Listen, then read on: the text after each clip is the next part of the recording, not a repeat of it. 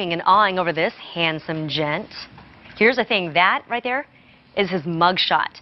Jeremy Meeks is behind bars in Stockton, California, but that's not stopping women from posting things like, quote, I'm quoting here, if this guy broke into my house, I'd make him forget why he broke in within 30 seconds. Oh. LOL.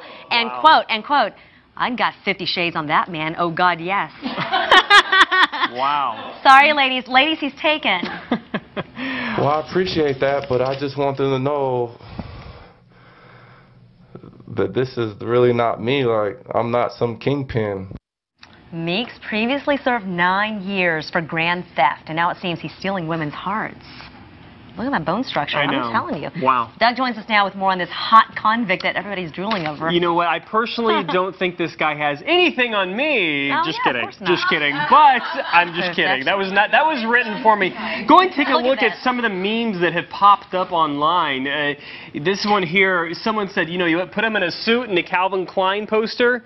There it is. Okay, his mugshot has more than 1,100 comments on our Facebook page alone, along with some more memes. Uh, go ahead and take a look at my iPad.